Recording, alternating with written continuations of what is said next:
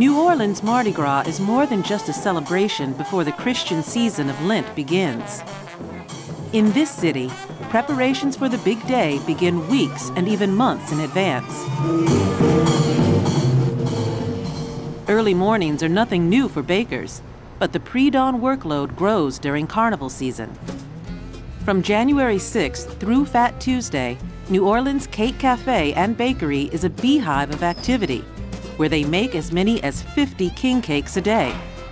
Here, they make non traditional goat cheese and apple stuffed cakes.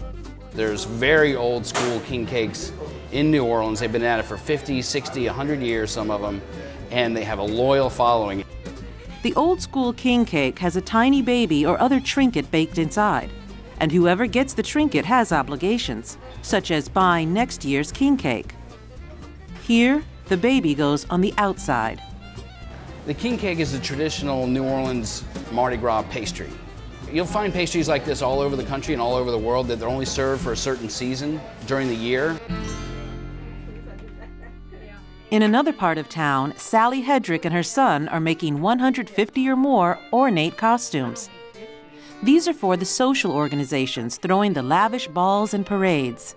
Some may go for more than $3,000. It's as rewarding to see the women in these costumes gleam, but it's more rewarding to see the men because a man doesn't get to dress up um, in beautiful clothes. He's usually in a tuxedo. Hedrick works on costumes year round, refurbishing ones that took a bit of a beating during last year's Mardi Gras celebrations and creating new works. For a look back at years past, the Louisiana State Museum lets visitors see more than a century and a half of New Orleans Mardi Gras traditions.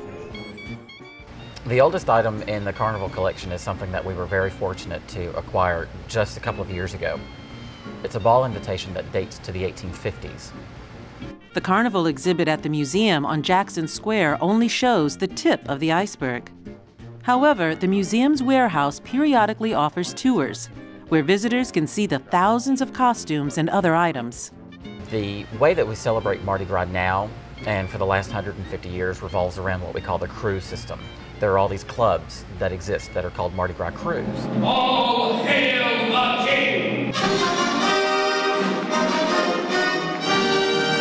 For the dozens of krewes, spelled with a K, lavish balls highlight Mardi Gras. The Knights of Sparta krewe was founded in 1951. For the last 30 years, they've paraded in the city and currently host a masquerade ball and parade that falls on the next to the last weekend of carnival season. The krewe's captain does not publicly reveal his identity. He says it isn't about secrecy.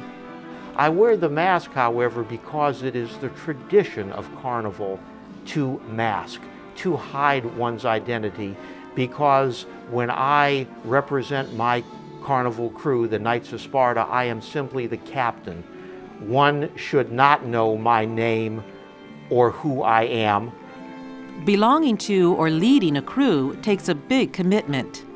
It is very costly to the members of the organization, paying dues, buying the trinkets, the throws as we call them, to throw off the floats, ball gowns for the ladies, uh, tickets to uh, different functions. And we do it because of a sense of tradition. As Fat Tuesday approaches, warehouses throughout the city come to life. Float dens, as they are called, house the floats that can cost hundreds of thousands of dollars to construct. It can take a month or more to build and decorate the elaborate floats, some of which date back to the early 1900s it's part of the economy here too. It puts a lot of people to work. I mean, you know, to make a float like this, you need carpenters, you you need artists, you you need welders, you need tire people, you need mechanics. It's a lot involved. And a final vital ingredient for Mardi Gras is the music.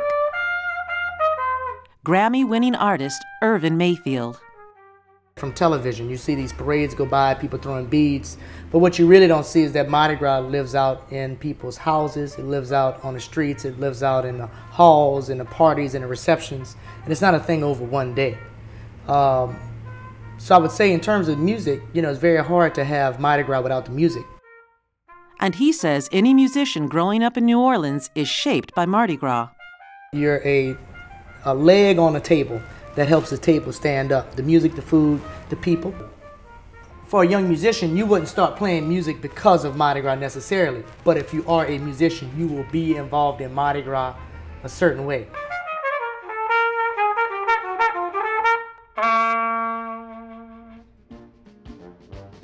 Most New Orleans natives say anyone hoping to understand Mardi Gras needs to come back often and stay a while, not just for one day.